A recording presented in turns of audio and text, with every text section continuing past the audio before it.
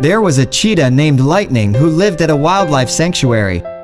Despite having a spacious enclosure and plenty of food and water, Lightning was very stressed and struggled to relax. The veterinarians at the sanctuary tried everything they could think of to help Lightning, but nothing seemed to work. So, the veterinary technician went to a local shelter and found a tiny puppy that was in need of a home. She brought the puppy back to the sanctuary and introduced it to Lightning. At first, Lightning was a bit hesitant and suspicious of the small, furry creature. But as the puppy approached him, tail wagging, he couldn't help but sniff it.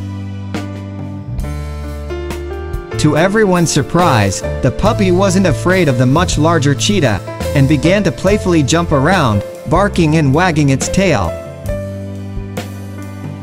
Lightning soon relaxed, and before long, the two were playing together as if they had been friends for years. From that day on, Lightning was a changed cheetah. He was more relaxed, less stressed, and seemed to have a new lease on life. The puppy was just what he needed to help him feel better, and the two became inseparable friends.